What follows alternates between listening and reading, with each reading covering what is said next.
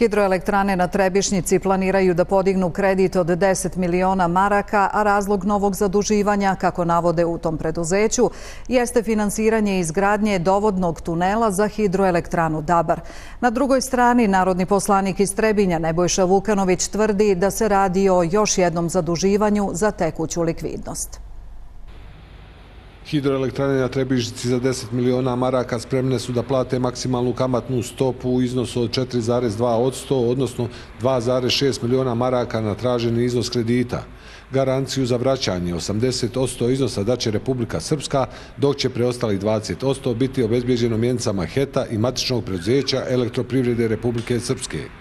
Plaćanje izabrano ponuđaču će se vršiti u 120 rata sa grejs periodom od 24 mjeseca, a kako pojašnjavaju u HET-u, novac je potreban za projekat HE-Dabar. Jedan od objekata koji je potrebno napraviti je tunel s ciljem prevođenja voda iz akumulacije Nevesinje, to jest voda sa Nevesinskog platoa u Dabarsko polje, odnosno na turbine koje su smještene na lokaciji Bijeljani.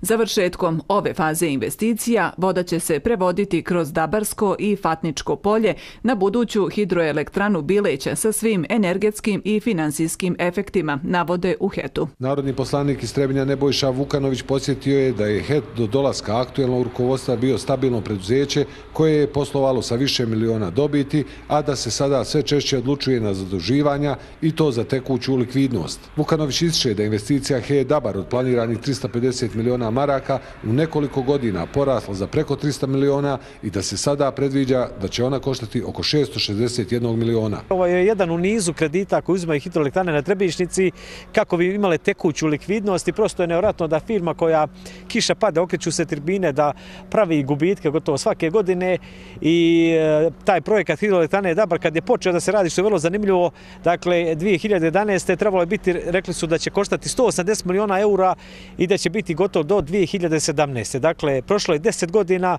oni još uvijek nisu počeli da prave branu pošto korišćenje, a cijena se prvo povećala na 420, 460, sad ponovo uzimaju nekoliko stotina miliona kredita, tako da će vjerovatno kad se sve to završi utrostručiti cijenu radova za hidroelektranu Dabar, što znači da je neko u tom cijelom poslu najmanje ustavio džep dvije trećine od ukupne investicije. Vukanović smatra da elektroprivreda i njena preduzeća posluju sa gubicima jer se u stvari sprema njihova privatizacija. Zbog toga se uzimaju stalni krediti, daju se spremljene, otpuštaju radnici, povećava cijena struje, sve je to sklopo priprema za privatizaciju struje koje je nedavno Milorad Dodik prvi put javno priznao kada je dao intervju nezavisni i rekao niko se ne bune da stranci kupe elektroprivredu, a kad kupe domaći privrednici onda se on nazivaju kriminalcima i tajkunima. Dakle, on već na neki način govori ko će to biti, da će neko iz njegovog bliskog okruženja, vratno i sam on preko povezanih lica postati vlasnik elektroprivrede Republike Srpske. Pored HETA, kreditom neophodnim za realizaciju projekta HE Dabar u iznosu od 97,7 miliona maraka,